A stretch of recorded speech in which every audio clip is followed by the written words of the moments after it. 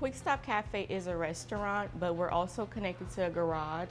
Someone is in the garage wanting an oil change or anything that's gonna be a wait, they'll hand them a menu out there and then they'll come in to grab a plate of food while they sit down and wait on their vehicle.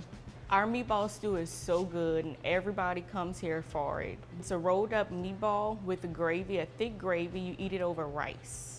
To get the full experience of the Qwik Stop Cafe, you have to come back again and again to try our daily menu. Instead of an all change being a drag for some people, they leave with an experience. I want people to feel taken care of whenever they come here.